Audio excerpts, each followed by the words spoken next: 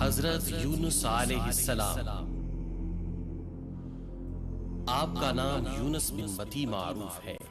اہل کتاب یونس علیہ السلام کا نام یونا اور ان کے والد کا نام متی بتاتے ہیں۔ بعض لوگ متی کو حضرت یونس علیہ السلام کی والدہ خیال کرتے ہیں۔ آپ کا ذکر قرآن مجید کی چار صورتوں میں چار مرتبہ آیا ہے۔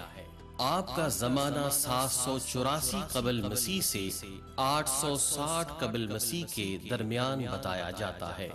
آپ اگرچہ اسرائیلی نبی تھے، مگر آپ کو اشور والوں کی ہدایت کے لیے عراق کی طرف بھیجا گیا۔ اور اسی بنا پر آشوریوں کو قوم یونس علیہ السلام کہا گیا ہے۔ اس قوم کا مرکز اس زمانے میں نینوا کا مشہور شہر تھا جس کے کھنڈرات آج تک دریائے دجلہ کے مشرقی کنارے پر موجود شہر موسل کے عین مقابل پائے جاتے ہیں۔ اس قوم کے عروج کا اندازہ اس بات سے لگایا جا سکتا ہے کہ ان کا دار السلطنت نینوا تقریباً ساٹھ میل کے رقبے پر پھیلا ہوا تھا۔ حضرت یونس علیہ السلام کو ایک لاکھ سے زائد لوگوں کی طرف پیغام ہدایت دے کر بھیجا گیا۔ آپ نے طویل مدت تک لوگوں میں تبلیغ کی لیکن نافرمان قوم نے ایک نہ سنی۔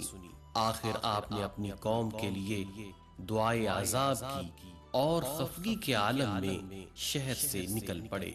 دوران سفر آپ مچھلی کے پیٹ میں بھی رہے اور طرح طرح کی صعوبتیں برداشت کی پیچھے جب قوم نے عذاب کے آثار دیکھے تو حضرت یونس علیہ السلام کو تلاش کرنے لگے۔ لیکن بسیار جستجو کے جب آپ نظر نہ آئے تو لوگ اکٹھے ہو کر ایک عالم کے پاس گئے۔ جو صاحب ایمان تھے، ان سے فریاد کرنے لگے کہ دعا کریں، ہمیں اللہ اس عذاب سے نجات عطا فرما دے۔ اس شیخ وقت نے حکم دیا کہ اللہ سے یہ دعا مانگو۔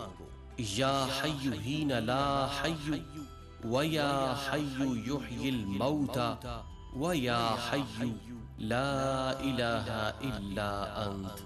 لوگوں نے بار بار اس دعا کی تکرار کی اور اپنے کیے پر نادم ہوئے۔ تو اللہ تعالی نے ان پر رحم کرتے ہوئے عذاب کو ٹال دیا۔